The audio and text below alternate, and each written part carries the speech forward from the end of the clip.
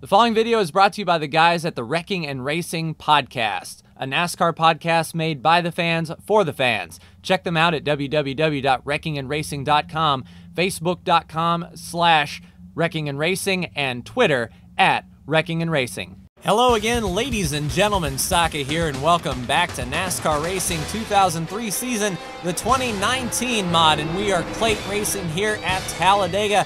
Brad Keselowski was on the pole. Myself and Brandon didn't have the most exciting qualifying. We're about mid pack, but as with Talladega, the pack racing is real, and we will try to make our way to the front. Brad Keselowski leads the pack off of turn two, rocketing down the back straightaway.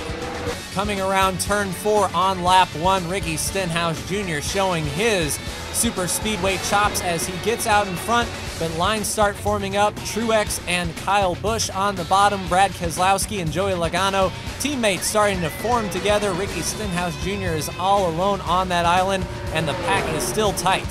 Down the back straightaway with help from his teammate Kyle Busch, Martin Truex Jr. assumes the lead here at Talladega. Kyle Busch in the middle line, Kyle Larson and Austin Dillon.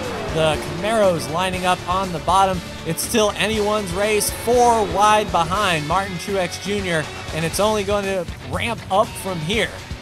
On lap three, the four wide continues as Brandon to the inside of Landon Cassill, Chase Elliott, and Ryan Newman. Brandon gets up the track just a little bit, touching the double zero and into Chase Elliott, and over Chase Elliott goes. It's the big one. Bowman involved, Tifft involved, Landon Cassill involved, Paul Menard involved, and Chase Elliott goes for a ride as well as Alex Bowman. Many cars involved. The track absolutely closes up in front of Paul Menard. The 32 of Corey LaJoie barely squeaks through, but Jeffrey Earnhardt gets some. Tanner Berryhill and Ross Chastain also involved. Many cars involved in this wreck. Coming to lap four, crew chiefs have a decision to make, and it's a pretty split decision as Martin Truex Jr., who is leading the race, leads them on pit road as well for fuel, but they are not within their range. They're pitting way too early. That hands the lead over to Austin Dillon, followed by Ricky Stenhouse Jr., Kevin Harvick, and Ryan Blaney, your top four. Now, we will have to make a pit stop down the road, uh, but so will everyone else. Brandon and myself making our way up into the top 10. Nice and easy. Coming down to begin lap 8, Austin Dillon on the point, and no double file restarts in NASCAR Racing 2003 season, and no one to the inside. So, based on 2003 rules, that means no one is a lap down. Everyone who was involved in that crash and could not make it back around is now out of the race. The Ricky Stenhouse Jr. making a power move on the bottom as we get up the gears. Myself and Brandon link up together to move forward on the bottom line behind Ryan Blaney. Coming around turn three, it looks like the tandem draft days with two by two by two, but I push Brandon to the inside and we assume the lead first and second. This will be the first lap that Brandon has led today. We go to the high line trying to get that momentum. The pack is still there, waiting for pit stops to separate us out. Do we take tires? Do we take just fuel? It's going to depend on race strategy and if there is another caution.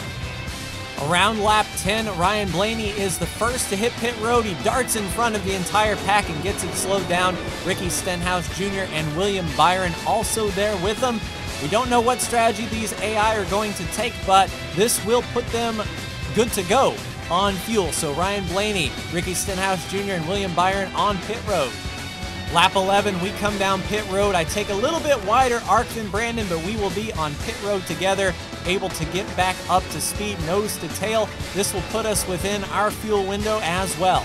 Kyle Busch assumes the lead with Kyle Larson, Brad Keselowski, Martin Truex Jr., and Denny Hamlin right behind. Ross Chastain looking to go one lap down, and you can see a group of cars filing out, as well as those coming off of pit road down there on the bottom. So a big pack might form.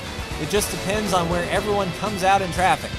Lap 13 coming to 14, Kyle Busch leads the rest of the pack on pit road with Kyle Larson and Brad Keselowski right there. We'll see where they come out when they rejoin the race on the backstretch.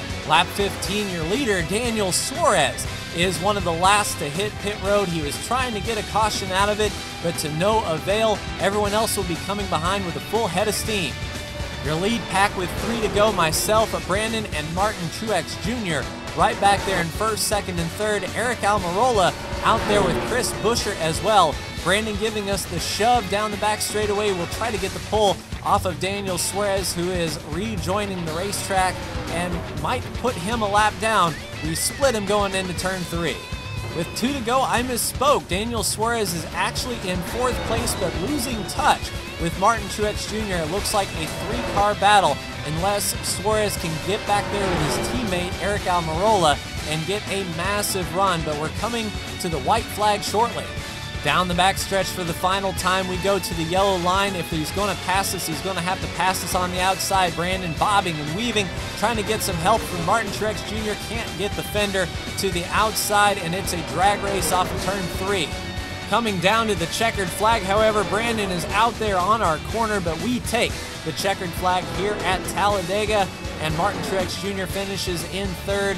Let's take a look at your top 10. Myself in first, Brandon in second, Martin Truex Jr. in third. Fourth place will be Aric Almirola. Fifth, fourth place will be Daniel Suarez. Fifth place, Aric Almirola. Sixth place, Chris Buescher. Seventh place, Ricky Stenhouse Jr. Eighth place, Joey Logano.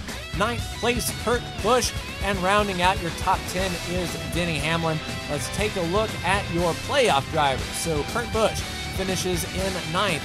Brad Keselowski still coming around, has not finished the race quite yet. He will come across the line in 27th position. Aric Almirola comes across in 5th. Denny comes across in 10th. Ryan Blaney comes across in 11th. Kyle Busch comes across in 12th. Joey Logano comes across in 8th. Brandon finishes second. I took the checkered flag. Kyle Larson ends up 15th. And Jimmie Johnson comes in 13th. So let's take a look at the standings after Talladega. Ricky Stenhouse Jr. is your cutoff driver by two positions over Kyle Larson, nine over Jimmie Johnson, 10 over Kurt Busch. And Joey Logano has half a race to make up, but it is still very tight between Ryan Blaney down to Ricky Stenhouse. Myself and Brandon have advanced to the round of eight, so it's a crapshoot at Kansas, depending on who goes forward to look forward to Martinsville. But that will do it for me. Like, share, and subscribe if you are so bold. Thank you so much for tuning in, and I will see you for the next NASCAR Racing 2003 season video. Take care.